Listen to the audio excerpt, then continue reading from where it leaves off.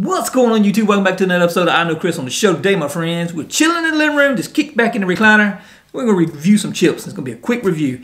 These are Pringles, which is one of my favorite chips. And this is the Philly Steak Cheese Pringles. But they say they're only right here sold at Walmart. So I guess if you don't have a Walmart near you, you can't get your hands on some of these Pringles. Um, hopefully that's not true. Maybe you can find them in a store. I don't, I'm not sure. But Philly steak cheese, I like that sandwich. Yummers is very delicious. Now how's this gonna be as a chip flavor? Hmm, let's open up the can and find out real quick. Like I said, we're gonna keep this review down quick.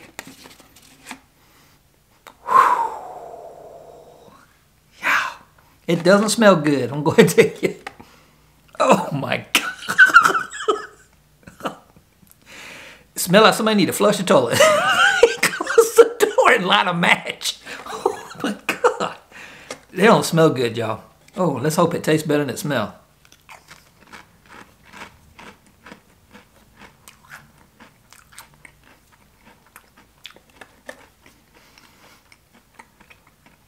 I'm keeping it real here. the onion taste is very loud, very strong. Smell, God, that's awful. don't smell these before you eat them. I about don't want to put this in my mouth. One more, just for y'all. Give y'all a true read of the taste of this chip, of this Philly stank feet, stank butt, whatever you want to call them. God, they smell awful.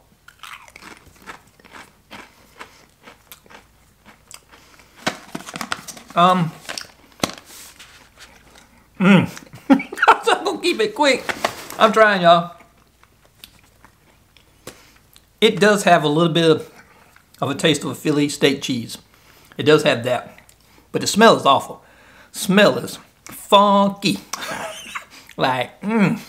it don't smell good. Don't open these around people and be like, y'all smell that?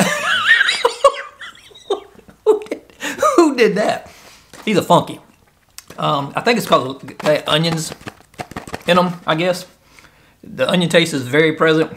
But I do taste something like, it tastes like a Philly steak cheese. More like the bread that goes with the Philly steak cheese and the cheese.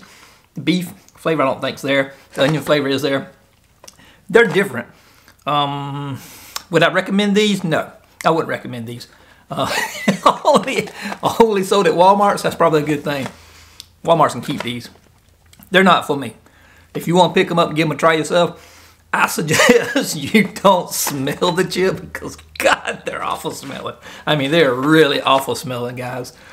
But if you want to pick them up and give them a try, you go right ahead.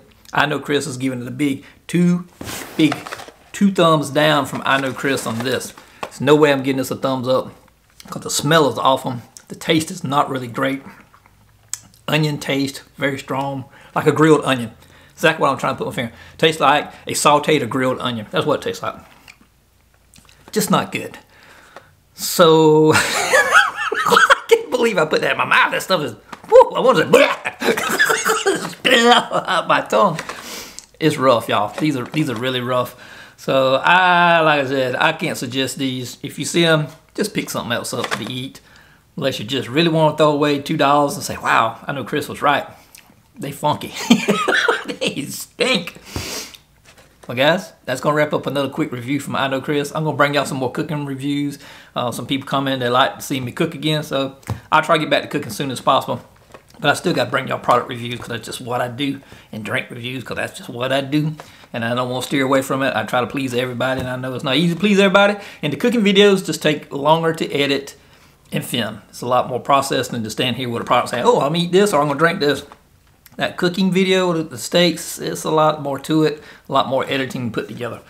But anyway, I appreciate each and every one of you uh, watching. We're almost to 5K. We're trying to get to 5K. We're almost there. Appreciate all the viewers, subscribers. Hit that subscribe button if you're new here. Give me a thumbs up, thumbs down. You can give this a big too wide, too wide in the Philippines. Give it too wide, give it too wide. it's nasty. Matter of fact, just get on out of here, Mr. Pring.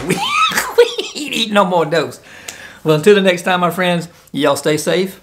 And as always, keep tubing.